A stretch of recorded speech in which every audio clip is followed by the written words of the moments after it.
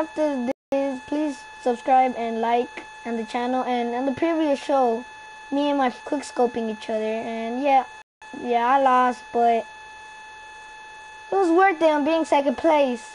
So let I'm gonna I'm gonna show y'all a glitch in search and destroy. And this glitch is lit is fun literally funny when you are planting the bomb. And supposedly makes the bomb go faster, but I say and probably it's the same thing, it's the same thing. I think it's the same thing. So without further ado, let's get started. Now, when you're doing the glitch, you will do your left stick, PlayStation and Xbox 3, Xbox One or PlayStation 4 or anything else. You press your left stick and then you move it crazy around anywhere.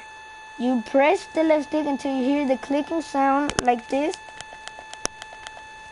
Yeah, like that, and then you just Search and destroy. move it around and it'll make the bomb supposedly faster.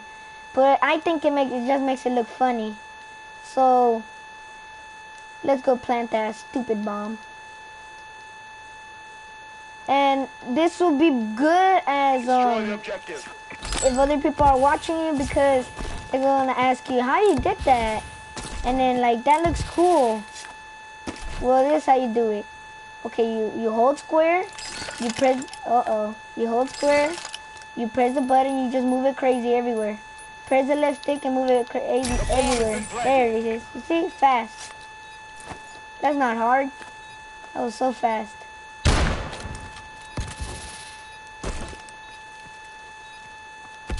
You just find place, camp for the bomb. That's it. But you see how fast I did that? Like uh, one second. And this only works on Advanced Warfare because if you see, I'm playing it right now. So I haven't updated a video before, but here you go. Please subscribe and like my videos. And vámonos. That's it.